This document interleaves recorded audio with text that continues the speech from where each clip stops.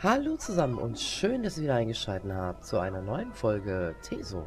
So, wir haben ja gesagt, wir wollen jetzt Findet Eimann und Rolunda machen. Dafür müssen wir ja, wenn ich auf eine Karte raufgehe, dahin. Wir sind noch hier unten. Also, werden wir uns jetzt auf unser Pferd schwingen, was wir uns ja bis Stream gekauft haben. Und werden da mal hinreisen. Ich hätte erst überlegt, ob ich es vielleicht äh, laufend mache. Wegen, ähm, genau deshalb. Wegen Quest. Molla. Kann ich jetzt... Ich... Ich kann euch verstehen. Meine Güte, ich bin kein Skever. Nein, nein. Folgt mir, ich zeige es euch. In Ordnung, geh voran. In Bodennähe. Und zeig mal. Haben wir nochmal eine extra Quest unterwegs, war?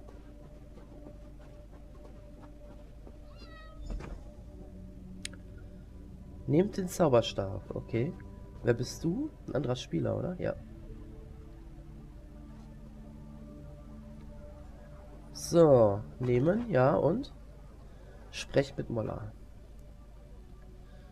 Okay. Kühne sei Dank, ihr habt ihn. Meine Freunde und ich waren in den Wäldern auf der Jagd, als plötzlich ein wahnsinniger Magier auftauchte und uns mit Zaubersprüchen angriff. Ich glaube, er hat mich nur leicht verletzt. Er ließ diesen Zauberstab in den Schnee fallen, bevor er verschwand. Ich habe keine Ahnung von Zaubern. Ich habe versucht, den Zauberstab aufzuheben, aber er ließ mich nicht. Ich glaube, er bewirkt den Zauber. Oder macht ihn ungeschehen. Schaut, meine Freunde sind Falter, Brent und läuft in Wildnis. Nun sind sie Skeva. Bitte findet sie und benutzt den Zauberstab, um sie zurückzuverwandeln. Alles klar. Machen wir. Wo sind die? Ah, jetzt gucken wir mal. Nee. Nee, warte mal, wo bin ich? Falter. Ah, die sind hier überall. Alles klar. Aber ich wollte hier gerne einmal... Das ist auch ein Spieler. Gilnender, sechste aus. Okay. Na dann. Laufen. Ich laufe jetzt einfach mal weiter. Greifen die mich an? Weiß ich nicht. Ich weiß nicht, ob die mich angreifen. Ist das ein Gegner?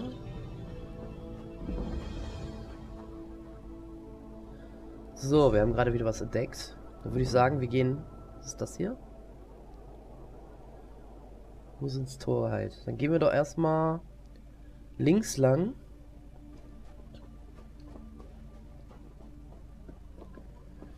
Hacken. Nehmen wir Holz mit. Jetzt weiß ich endlich mal, wie man Holz hier ab, abfarmt. Ihr seht ja überall Tote. Oh, ihr, ihr seid böse, ne? Ja, probieren wir. Ach so. Ich habe auf meiner Leiste gar keine gar keine äh, Bogenfähigkeiten.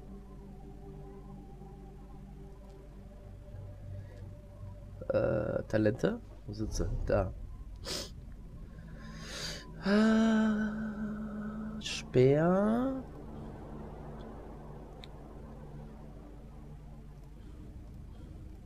Nee.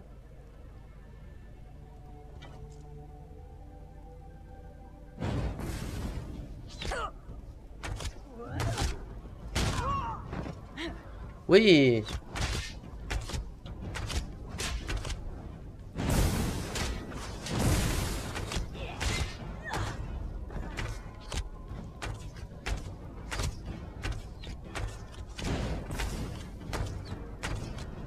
Geh weg. Banditennotiz, okay. Oh, wir haben einen neuen Bogen. Muss ich direkt mal gucken. Das ist doch bestimmt besser wie meiner, oder? Stufe 3. Naja, nicht wirklich. Hm. Aber wir haben, glaube ich, noch mal Talente. Wo ist denn der Bogen? Da, Bogen. Freischalten. Das kommt dann dahin. Was haben wir hier? Klasse? Klasse? Haben wir das? Alles klar. Wir brauchen Himmelsscherben. Fällt mir gerade so auf. So, jetzt haben wir wenigstens mal eine Bogenfähigkeit. Mal gucken, was die kann.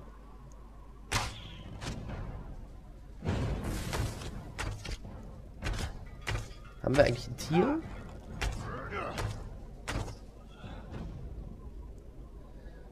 Das ist ein böses Lager, ne? Okay.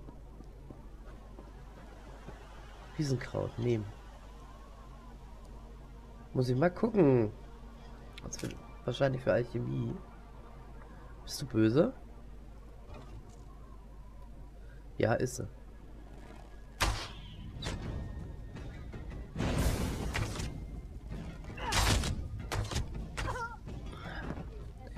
Rang 2 bei Präzision erreicht. Okay. Lass mal in die Häuser gehen und gucken, ob wir was plündern. Oh, wow. Entschuldige. Ah.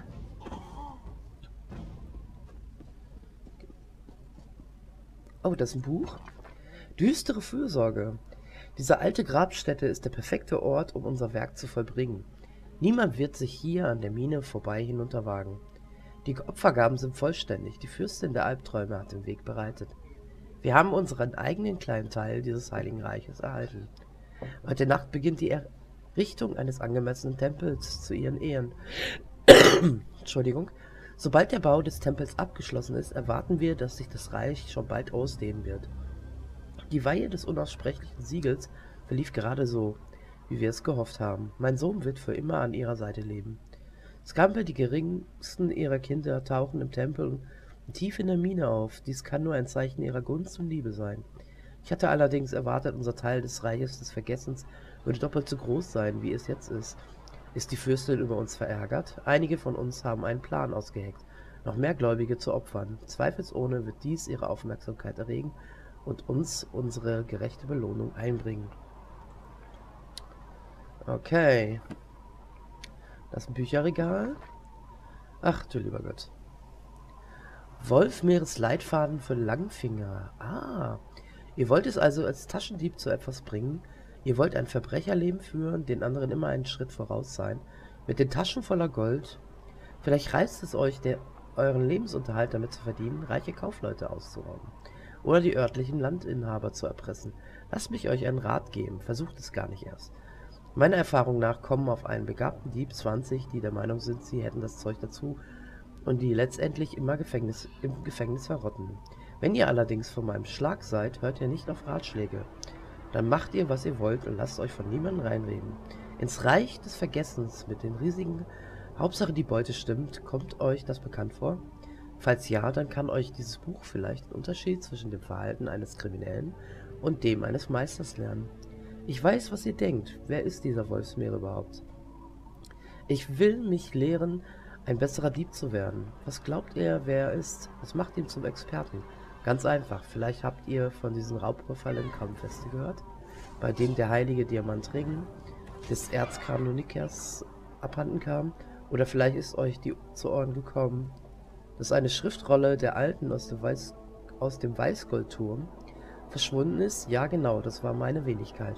Ich habe schon so gut wie alles verbrochen, was ihr euch vorstellen könnt, und mein Reichtum beweist es. Wie könnte ein ehemaliger Dieb es sich sonst leisten, sein eigenes Buch zu veröffentlichen? Nun, da ich euer Interesse geweckt habe, sollten wir mit zwei der wichtigsten Fertigkeiten beginnen, an denen ihr fallen solltet, wenn ihr es als Taschendieb zu etwas bringen wollt, nämlich Schlösser knacken und Taschendiebstahl. Und bevor ihr jetzt die Augen verdreht und das Buch angewidert wegwerft, will ich euch eins versichern. Der schnellste Weg, erwischt zu werden, ist es, die Grundlagen zu missachten. Aber wenn ihr diese Dinge meistert, werdet ihr im Geld schwimmen. Der Taschendiebstahl ist mit am leichtesten erlernbar, aber ich habe schon überraschend viele Anfänger gesehen, die dabei versagten. Es gilt zweierlei zu beachten. Erstens müsst ihr euch mit der Umgebung vertraut machen und zweitens müsst ihr euch die Vorgehensweise überlegen. Der richtige Ort und der richtige Zeitpunkt sind ebenso wichtig, wie das richtige Opfer auszuwählen.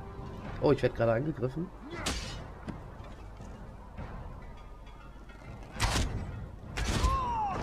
Hui.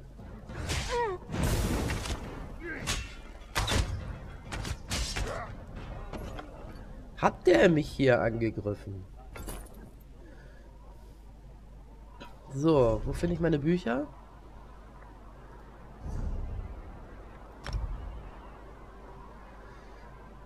Gilden, Freunde, Gruppe, Karte, Sammlungen.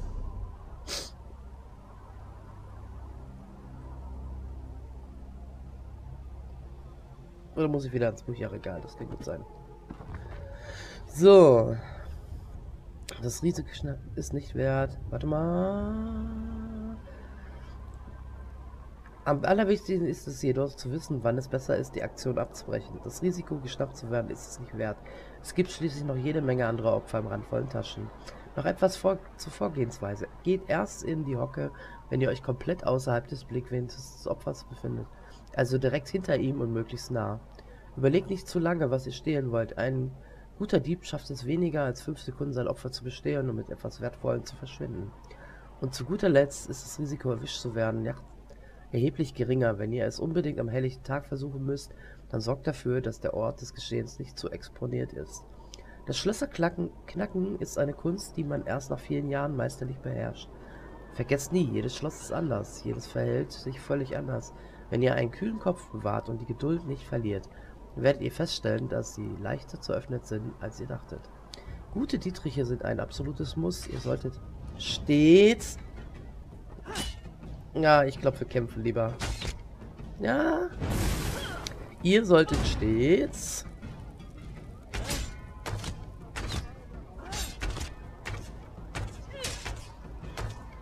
Ihr solltet stets... Äh, ausreichende Menge bei euch tragen. Lasst euch immer genug Zeit und geht behutsam mit den Dietrichen um. Wenn die Zuhaltungen kurz vor den Einresten stehen, müsst ihr spüren, dass der Dietrich ganz leicht zittert. Das bedeutet, dass ihr die richtige Position beinahe gefunden habt. Geht jetzt ganz langsam vor, bewegt die Dietriche nur noch ganz sachte. Wenn ihr einfach wild in dem Schloss herumstochert, wird das sowohl eure Dietriche als euren Stolz brechen. Wenn alle Stricke reißen und das Schloss euch wirklich Überfordert könnt ihr immer noch versuchen, es aufzubrechen. Bedenkt aber, dass dies selten von Erfolg gekrönt ist und mit viel Lärm verbunden ist. Wenn ihr meine Techniken anwendet, werdet ihr zum er erfolgreichen Dieb, das garantiere ich euch. Es erfordert nur ein wenig Geduld und eine Menge Übung. Dann werdet ihr vielleicht auch nur vielleicht eines Tages so erfolgreich wie Wolfsmeere. In meinem nächsten Band werden wir uns mit einem weiteren wichtigen Werkzeug in eurem Arsenal beschäftigen, dem Schleichen. Ich werde euch beweisen, dass die Schatten eine ebenso mächtige Waffe darstellen können, wie die Klinge, wenn ihr wisst, wie ihr sie gef gefügig machen könnt.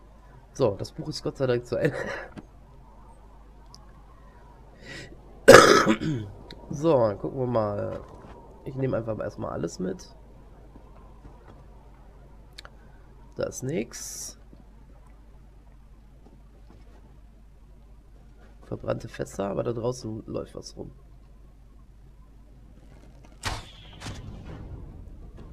Komm her, Uschi. Ah, das ist keine Uschi, ist ein Typ. So, Gold. Ich nehme dein Gold gerne mit. Sogar sehr gerne. Das sind überall Kisten. Ah. Ich habe jetzt zwar keine wirkliche Quest, aber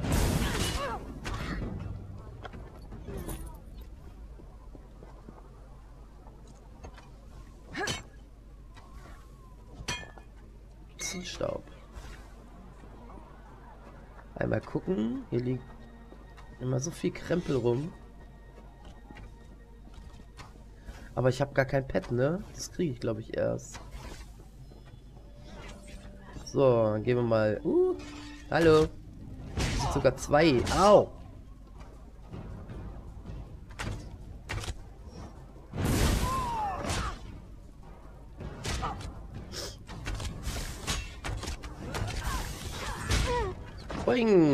Wieder einer auf die Nase gekriegt. Danke. Sie will ja auch unbedingt ins... Ui. Das ist, glaube ich, zum Angeln, ne? Marek, wenn du das hier siehst, erklär mir das mal, wie das mit dem Angeln funktioniert, bitte.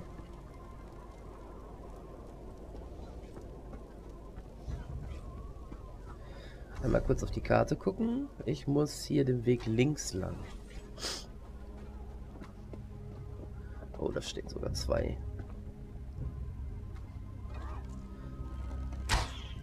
Egal. Oh. Da stehen noch mehr.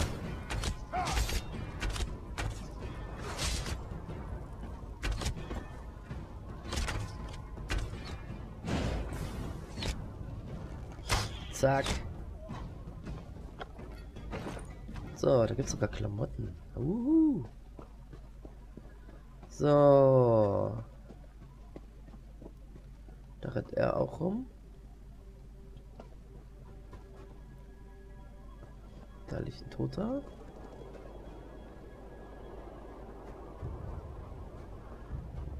Müssen irgendwie hier hinten ist ja einer von denen, die ich zurückverwandeln soll.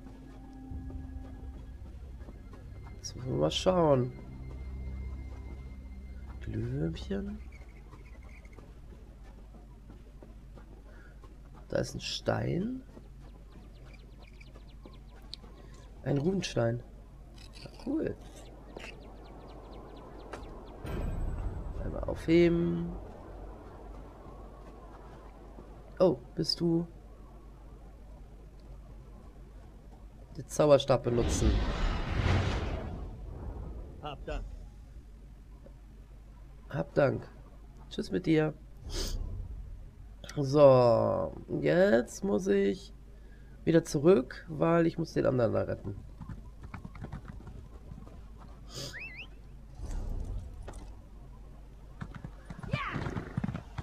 Ab durch die Mitte. Jetzt mal, jetzt mal ganz kurz gucken. Einer ist jetzt da hinten links. Dann gehen wir erst den linken machen und dann rechts, weil... Oh, ist der Erz? Erstmal mitnehmen. Erstmal mitnehmen. So, was hat Marek gesagt? Drei Berufe. Ich soll mich an drei Berufe halten.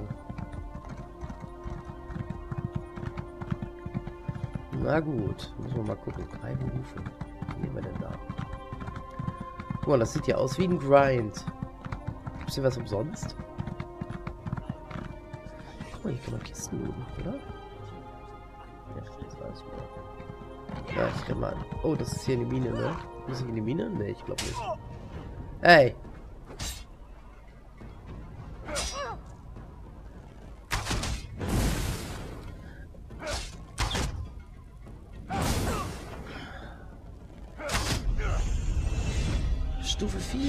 Ne, hier muss ich nicht hin, oder? Ne. Hier bin ich verkehrt.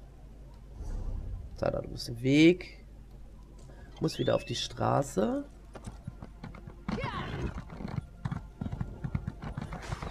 Du musst wieder auf die Straße. Irgendwie wird hier gerade was abgefarmt. Okay. Uh, ich hoffe, ich komme an dem vorbei.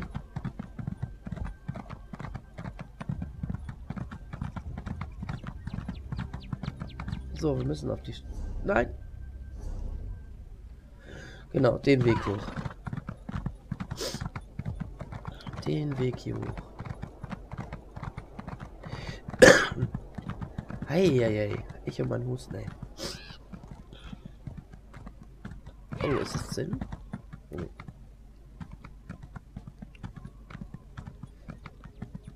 So, oh, hier ist ein schöner See. Oh Gott, hier sind ja Spinnen.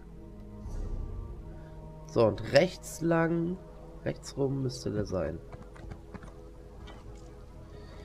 Komm her, Frostspinne. Ah, ich mal bewegen müssen. Jawohl. Da ist nochmal ein Runenstein. Nehmen wir gleich wieder mit. Hoffentlich greift mich jetzt gerade mal niemand an.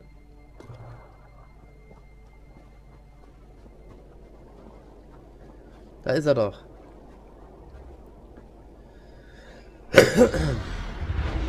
so, habe ich dich befreit? Ich bin euch sehr verbunden.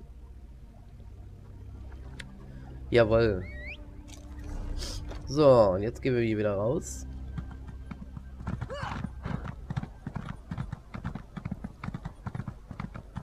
Sollten vielleicht vorher noch einmal schauen, wie ich am besten darüber komme.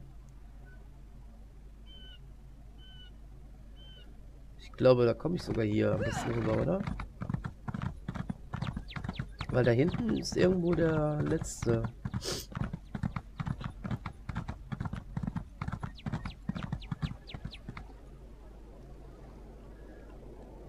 Genau, hier sind ja auch die...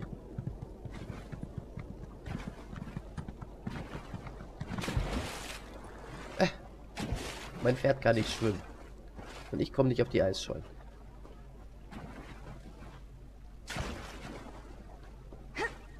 So, machen wir erstmal den einen noch.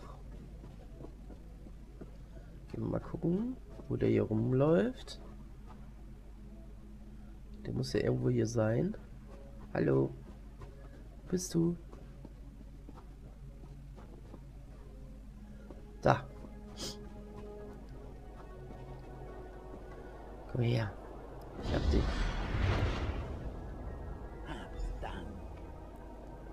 Läuft in die in, läuft in Wildnis. Auch ein schicker Name, den du da hast. So, und bevor ich da reingehe in die Höhle, um die Haupt... Uh, das ist ein, das ist ein Splitter.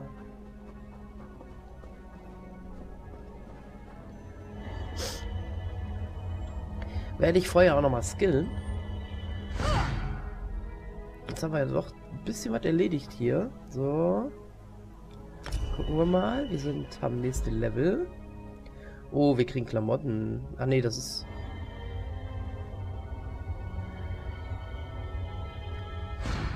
Ich dachte... Wir können hier... Belohnung für Stufe 4 beanspruchen. Achso, ich muss mal aussuchen, was ich von den Warte mal, nehmen wir leicht. Ja, wir nehmen ja, glaube ich, eher leicht oder mittel, ne?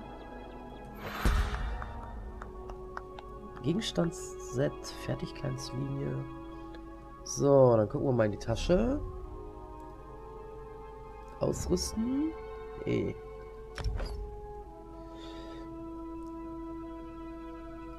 Ausrüsten. Da haben wir noch eine Banditennotiz. Das sind die Bücher von Marek.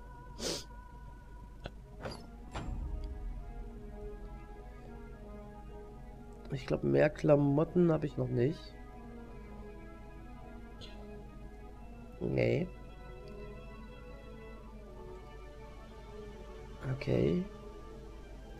Ist vom Anführer. Warte mal. Benutzen.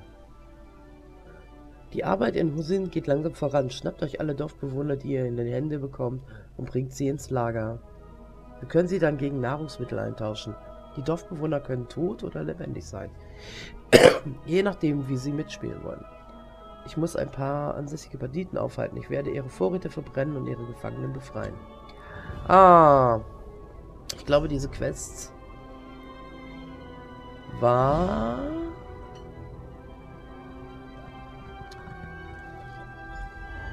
Verbrennt die Vorräte. Frostigen Grad. Ich glaube, das war irgendwo, ne?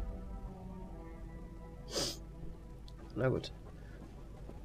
Ich würde aber sagen, bevor wir jetzt in die Mine rennen, machen wir einmal Cut. Was haben wir hier? Und dann geht's beim nächsten Mal weiter. Ich danke euch fürs Zusehen und bis bald.